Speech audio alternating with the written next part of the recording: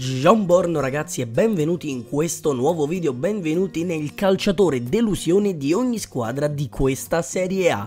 Prima di cominciare come sempre vi invito a lasciare tantissimi, tantissimi, tantissimi mi piace qui sotto e soprattutto di iscrivervi al canale perché per voi magari non sarà importante ma per me è fondamentale. Inoltre vi chiedo di scrivere qui sotto la vostra squadra del cuore e vicino secondo voi qual è stato il giocatore delusione dell'anno e perché. Mi raccomando fatelo, vi ricordo di lasciare tantissimi mi piace e molto presto vi porterò un altro video di questo tipo e noi andiamo a prendere squadra per squadra ogni club di Serie A e andiamo a dire vicino secondo me qual è la grande delusione del campionato. Quindi vabbè basta chiacchierare, basta parlare. 3, 2, 1 e noi partiamo subito. E partiamo ragazzi dall'Atalanta. Per quanto riguarda l'Atalanta ho dovuto a malincuore mettere un giocatore che non è che abbia fatto malissimo, però devo dire la verità mi aspettavo qualcosina di più. Sto parlando di Atebor. Eh, se dovessi parlare di due ali che hanno spiccato il volo quest'anno all'Atalanta, due esterni di centrocampo, queste sarebbero Gosens e Castagna. E visto che l'anno scorso si parlava tanto, tanto, tanto e tanto bene di Atebor, mi aspettavo che questa fosse la stagione in cui andava a conquistare il mondo. Invece devo dire che tirando le somme, beh, così tanto bene non ha fatto. Ha giocato praticamente sempre, ha giocato molto spesso, però quando ha giocato non è mai riuscito a spiccare, ok? Non è mai riuscito a, fare quegli assist e quei gol che faceva l'anno scorso e quindi secondo me è una delle più grandi delusioni.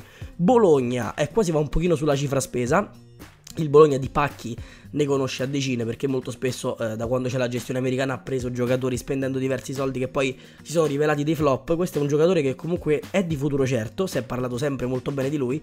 Sto parlando di Scovolsen, va detto anche che però il Bologna ci ha speso 6 milioni per Scovolsen, quindi adesso un rientro economico o comunque un rientro di prestazione deve avercelo. Ha fatto un gol, quindi non possiamo parlare di sto grande rientro. Brescia, eh, su Brescia, va, sul Brescia vado a Balotelli Balotelli forse perché le aspettative erano troppo alte. Qui ragazzi la delusione la fa l'aspettativa. Quando Balotelli firma per il Brescia, io mi aspetto che Balotelli che vedo al Brescia è un Balotelli che convincerà Mancini a portarlo all'Europeo. E quindi dico, vabbè, è fatta, nel senso quest'anno farà 18, 19, 20 gol. E invece poi mi ritrovo con un Balotelli che segna perché qualche golletto l'ha fatto, ma non segna tanto, ma non è trascinatore, ma non è leader. Devo dire che tirando le somme un pochino mi ha deluso. Cagliari Qua sono andato a prendere un giocatore che a me ai tempi del Chievo piaceva tantissimo, sto parlando di Walter Birza, che però ragazzi a Cagliari non ha funzionato. È vero che spesso, se non sempre, è rotto, però il Cagliari è un giocatore over 30, l'ha pagato 2 milioni e mezzo, che non sono pochi, soprattutto per il Cagliari, soprattutto perché è un over 30, e ragazzi quando non è rotto fa panchina. Quindi se è un giocatore che quando non è rotto fa panchina, a che cosa sta servendo? Cioè davvero si può considerare un giocatore utile? Purtroppo, ahimè, perché io ci puntavo veramente tanto, devo ammettere che Birsa è una delle grandi delusioni di questo campionato. Vabbè, andiamo avanti, passiamo alla Fiorentina, dai. Fiorentina, Eppure qua, eppure qua ce ne sta da parlare, ma ce ne sta tanto da parlare. Ce ne sta tanto ragazzi perché eh, per quanto riguarda la Fiorentina ne ho parlato molto spesso di questo giocatore, ne ho parlato veramente tanto ed è uno di quei giocatori stile Neto che a un certo punto ha preso e se n'è andato, ha deciso di, di andare in altri lidi. È fallito, e a differenza di altri questo è tornato. Sto parlando ovviamente, manco a dirlo, di Milan Badel. E quando è tornato tutti hanno detto vabbè la Fiorentina ha trovato il mediano titolare e invece no, perché quando è tornato non è più stato lo stesso. Credo sarete d'accordo con me che quest'anno Badel ha fatto una stagione flop.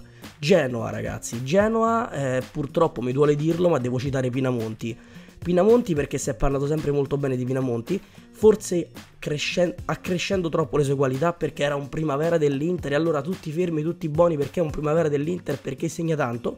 Pinamonti ha sempre dimostrato di poter segnare con una certa continuità, sono d'accordo, però non dimentichiamoci che il Genoa ha sborsato 18 milioni di euro, non ha sborsato due spicci, ha sborsato 18 milioni di euro.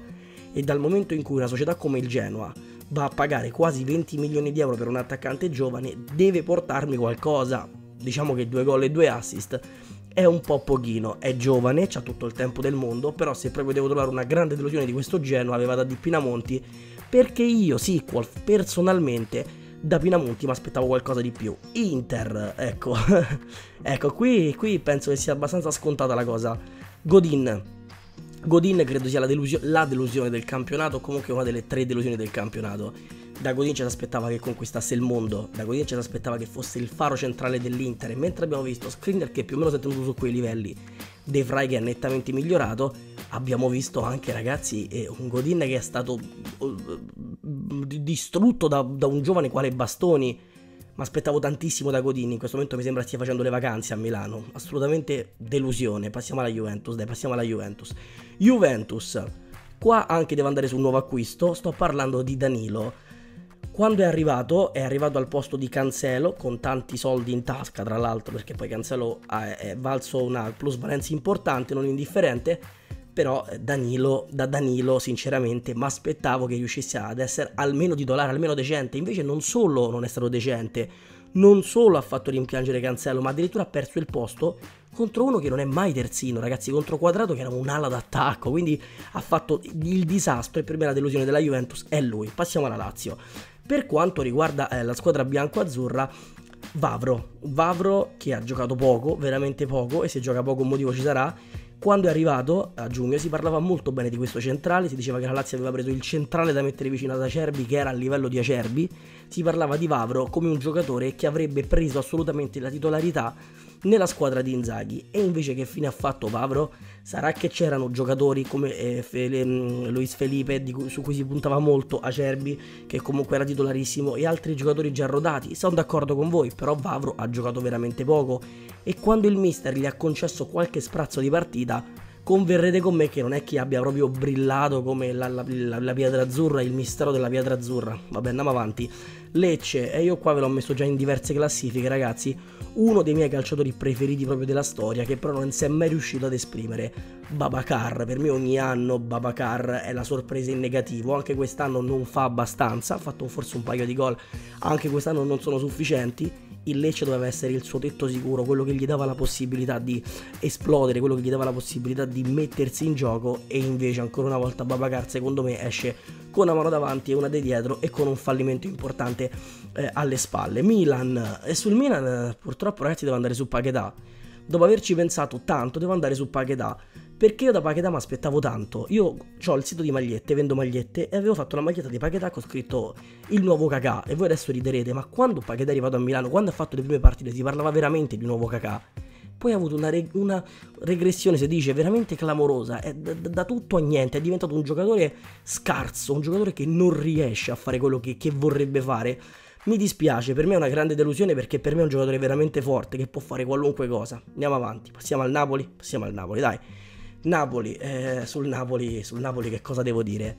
Sul, il Napoli ragazzi ha acquistato un calciatore che doveva essere, che è arrivato come sostituto di James Rodriguez perché James non sono riusciti a prenderlo hanno preso lui, l'hanno stra stra stra strapagato, l'hanno pagato veramente tutti i soldi, tutti i soldi che avevano in tasca lo hanno pagato, gli hanno dato proprio i soldi proprio a come se piovessero, erano tre anni che gli stavano dietro, lo volevano tutte le squadre del mondo, Lozano, Lozano, sarà che l'hanno fatto giocare poco, sarà che c'aveva una grande concorrenza Sarà che probabilmente anche i cambi di modulo, i cambi di allenatore, quello e quella. Però, ragazzi, dallo Zani mi aspettavo una stagione esplosiva. Non dico che doveva fare 50 gol, ma una stagione esplosiva. Invece che ha combinato, andava avanti. Parma. Ecco, sul Parma ho faticato a trovare un giocatore che, non, ehm, che fosse una delusione. Alla fine ho optato per mettere Laurini.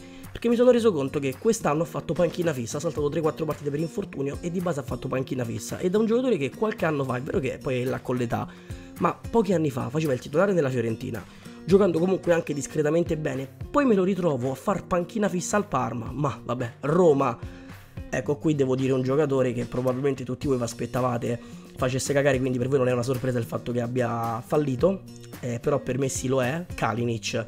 Non tanto per il fallimento in sé, non mi aspettavo da Kalinic che diventasse il capocannoniere della nostra storia, però mi aspettavo quantomeno di trovare il giocatore che avevo visto a sprazzi a, a, Milano, che avevo visto in generale a Milano, che da Firenze, anche un po' a Milano, però specialmente a Firenze, Kalinic sta, è, è, stato un giocatore comunque importante, quindi dico vabbè farà magari quelle 3-4 partite, 5-6 partite, farà un golletto di culo e va bene così. Invece mi è sembrato inadatto, inadatto, non capisce dove sta giocando, non capisce dove si trova, non capisce che cosa sta facendo. Veramente è una cosa che mi ha lasciato sconcertato. Passiamo alla Samp, la squadra tra l'altro che ci ha dato Patrick Schick, quindi non posso fare altro che ringraziarvi l'anima del meglio mortale. Al di là di queste piccole battute Devo dire Quagliarella, voi mi menerete, in realtà non è che io voglia paragonare Quagliarella magari a giocatori come Kalinic, sia chiaro. la delusione è delusione eh, in sé, ok? Quindi non è che voglio fare paragoni. Quagliarella prima o poi doveva calare, è arrivato il calo e quindi mi ha deluso perché lo scorso anno aveva fatto veramente tantissimi gol, tant'è che aveva spaccato qualunque record e quest'anno invece sta calando drasticamente, ha fatto 9 gol, tra cui la maggior parte sul calcio di rigore, fa fatica, ci sta, ci sta, ci sta, no scherzo, ci sta, però devo prenderlo in considerazione, quindi la delusione della Samp, secondo me, tra tutti, è Quagliarella. Sassuolo, Sassuolo ha messo Burabia.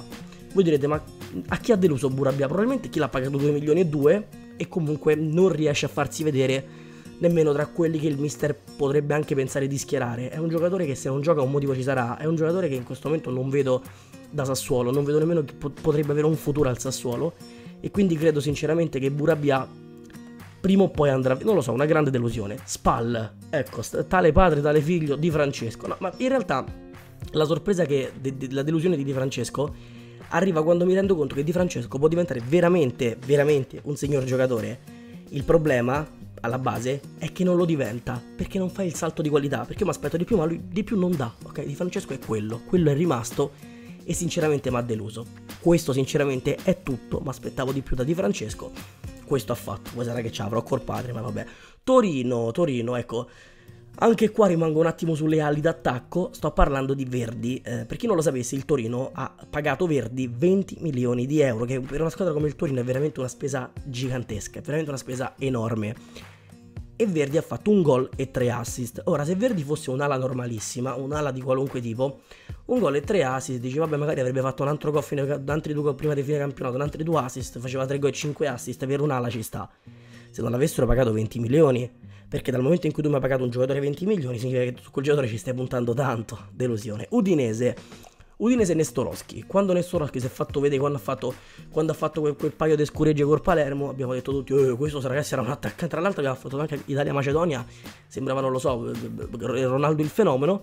All'Udinese non combina nulla, a parte che gioca poco, quando gioca non fa niente, ha fatto un gol e un assist per Puzza, ma aspettavo sinceramente fosse l'attaccante in più dell'Udinese, l'attaccante che svoltasse la gara e invece si è fatto superare da tutti, da Lasagna, da Ogaga, se te fai superare da Ogaga Vabbè, Verona, concludiamo con il Verona, me l'avete segnalato in moltissimi, alla fine ho deciso di metterlo qua, Stepinski.